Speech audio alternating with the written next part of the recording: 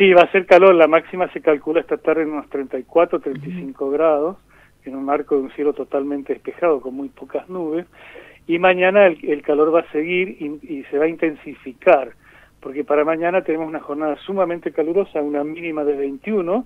y una máxima de 38. Hacia la noche de mañana jueves eh, va a haber inestabilidad, sobre todo en el centro y sur de la provincia, o sea, en la zona de Valle de Uco y en la zona también de San Rafael y hacia el sur de San Rafael. Algunas tormentas aisladas, pero acá en la zona del norte, o sea, en la, el área metropolitana, no van a llegar las tormentas. Pero sí va a llegar la disminución de temperatura el viernes porque el viernes la mínima, si bien va a ser alta, de 20 grados, la máxima no pasaría de 30, porque va a soplar viento sur y esas tormentas y esa nubosidad de la inestabilidad de la madrugada van a favorecer el descenso de temperatura.